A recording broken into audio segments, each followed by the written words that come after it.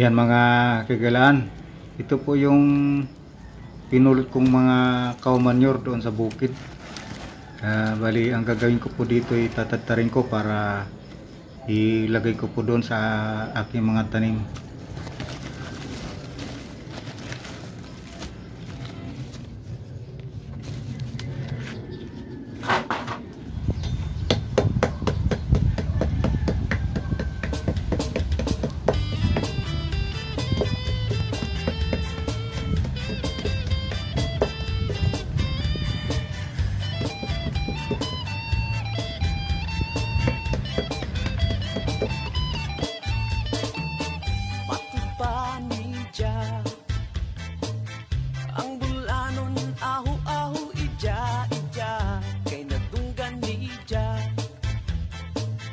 Sa mga istorya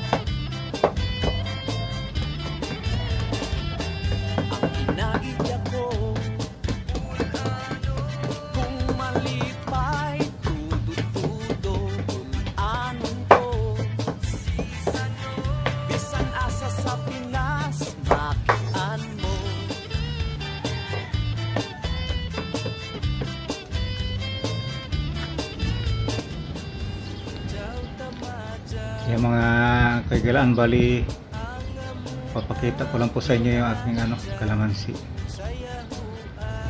Yan, marami na namang bunga. Nilagyan ko kasi ng kaumanyor yan. Tapos mga ilang linggo na mulaklak. Ayan. Nalago na naman yung bunga. Kailangan kasi ah ng isang buwan, lagyan mo ng pataba, organic fertilizer para kuan. Kasi sa kakadilig mo, mawawala yung nutrients niyan. Kaya kailangan lagyan mo na naman ng uh, ano, pataba. Yung ginagamit ko yung cow manure lang mga kailangan.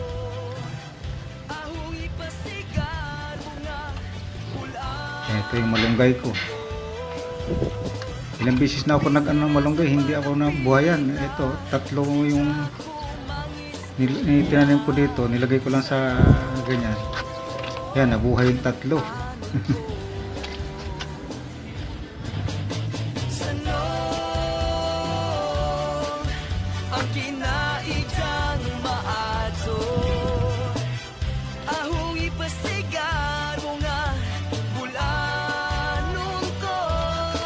Ito po yung ano ko mga kagilaan, yung grapes. Ayan. Yung mga ano na siya. Nagulat na lang ako. Mulaklak, yan. Eh, napuno na yung bunga mga kagilaan. Pero marami siyang ano, yung mga bulaklak na. Ayan, bunga na yan. Oh. Ang ginawa ko kasi, pinagtatanggalan ko ng mga ano, ayan, oh. mga, yung mga sanga-sanga ba, ang tawag dyan. Nagulat na ako, bigla nagsilabasan yung mga kuan namulaklak siya kasi nung nag trimming ako nag mag-concentrate siya sa flowering. Yan. Oh, ang dami. Oh. Eh hindi naman ako eksperto sa ganito. Napapanood ko lang din sa YT na kailangan mag ano yan nga ang tawag dito babawasan mo ng mga kuan mga sanga-sanga para ang concentration niya sa flowering. Ayan matutuwa na naman nito yung mga yung dalawa kong apo. Tatlo pala. Ayan. Ito meron akong guyabano dito. Andiyan lang yan sa ano, empty container ng mineral.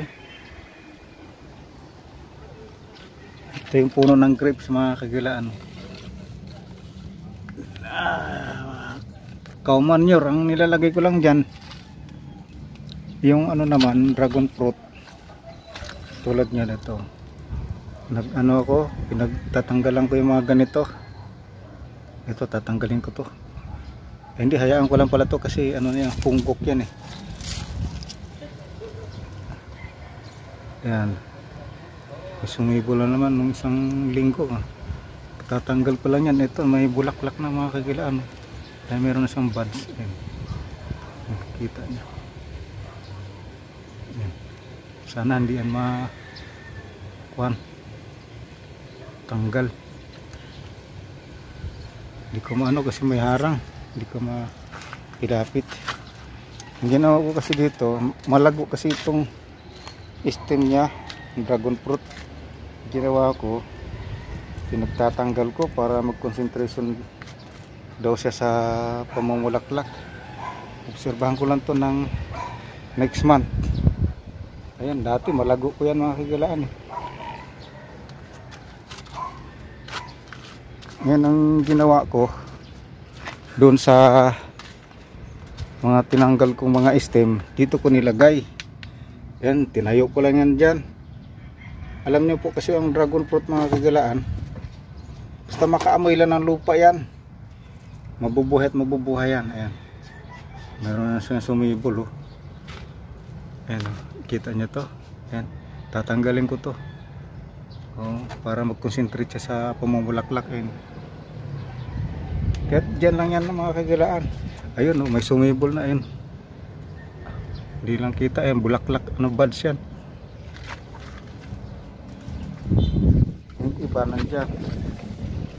Yung iba, dito ko nilagay mga kagilaan. Ayan o. Oh, oh. Nakatayo lang yan dyan. Hmm? Basta't may lupa lang yan mga kagilaan, mabubuhay yan. Hindi yan mahirap mm,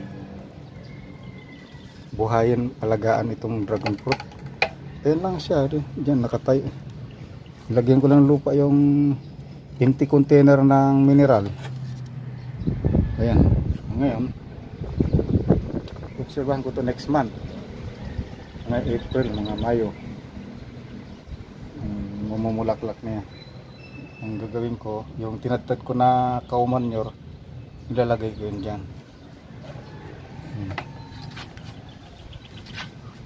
Ayan po. Oh. Eh sayang naman kung itapong ko kaya ang ginawa ko yan, nilagay ko dyan. Ah, tamo. Po.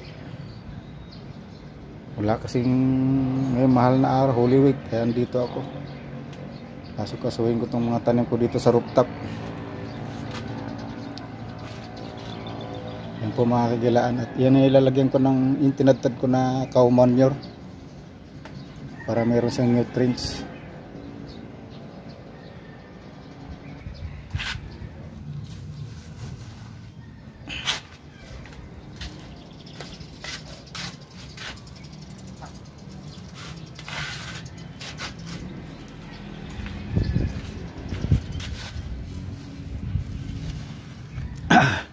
kamay kamay lang. Ayun nakikita ko. Nandito lang para yung ano ko